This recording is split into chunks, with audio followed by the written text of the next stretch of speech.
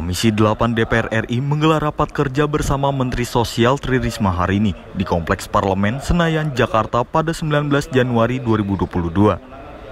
Rapat tersebut dipimpin langsung oleh Ketua Komisi 8 DPR Yandri Susanto. Namun sebelum rapat dimulai, beberapa anggota Komisi 8 DPR meminta untuk Sekjen Kementerian Sosial meninggalkan ruang rapat.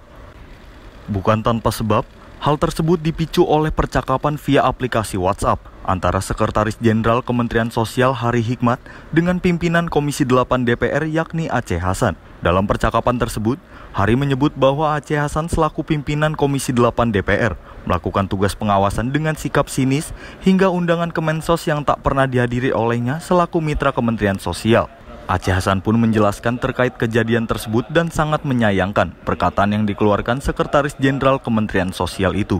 Ia mengatakan apa yang dilakukan para anggota Komisi 8 DPR dengan mengusir Sekjen Kemensos sebagai sikap untuk menjaga marwah kelembagaan. Sekjen waktu itu minta maaf, tapi setelah itu Bila apa yang saya lakukan itu sinis, bahwa saya diundang oleh Kementerian Sosial tak pernah datang, apa urusannya? bicara seperti itu.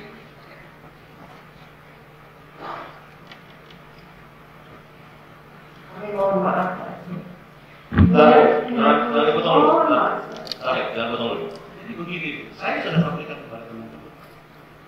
Saya menghormati. Saya sudah ber, bermitra dengan Kementerian Sosial sudah.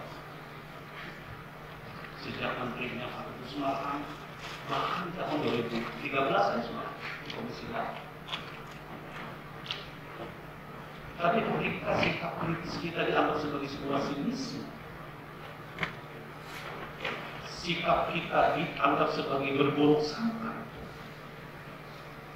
sikap komisi 8 dianggap sebagai sebuah tindakan yang tidak baik. Lalu di mana pengawasan komisi 8 terhadap kita?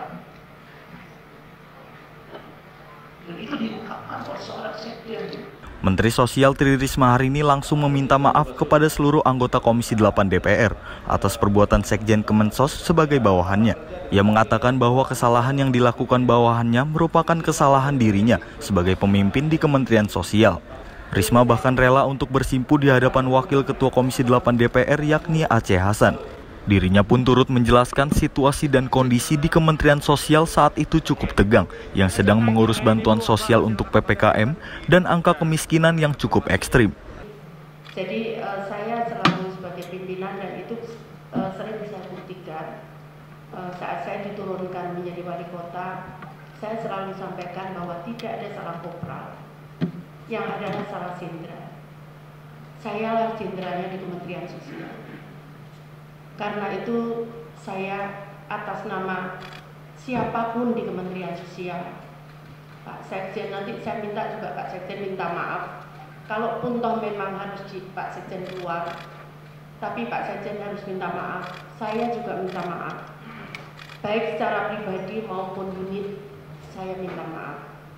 Karena saya berprinsip bahwa jenderal yang salah. Saya yang salah. Kalau ada tidak komunikasi tidak baik, sayalah yang salah. Saya mohon maaf yang sebesar-besarnya. Dengan cara apa pun saya lakukan. Kalau memang saya harus berada di tempat Pak Aceh dan saya duduk di bawah, saya akan lakukan. Boleh saya buktikan. Jangan sabuk, jangan bu, sabuk, jangan bu. Saya kira kalau kita bagi saya saya selalu didik orang tua saya. Saya ya. mohon maaf sekali kalau memang ada yang tidak berkenan.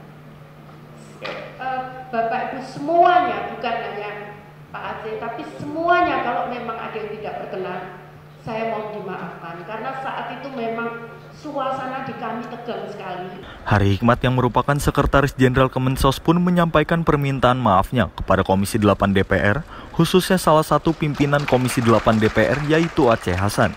Dirinya sangat menyesal atas ucapan dan perbuatan yang dilakukannya. Hari juga meminta maaf kepada Menteri Sosial Tri Risma hari ini karena telah menambah beban yang seharusnya membantu melaksanakan dan meringankan tugas seorang menteri. Secara jujur dari hati yang paling dalam, saya mohon maaf atas apa yang sudah saya lakukan, apa yang sudah saya komunikasikan kepada Pak Asing dan juga saya mohon maaf atas nama Sekjen yang secara hubungan kelembagaan mungkin sangat berpengaruh sampai seperti hari ini. Terus ini satu pelajaran yang sangat berharga buat saya dan kalau boleh saya mohon maaf juga kepada Ibu Menteri Sosial karena apa yang sudah saya lakukan justru telah membebani yang seharusnya saya sebagai staf memberikan kemudahan dan keringanan terhadap apa yang Ibu lakukan selama ini. Dari Jakarta, Andi Rezaldi, Galuh Komara melaporkan untuk Sinpo TV.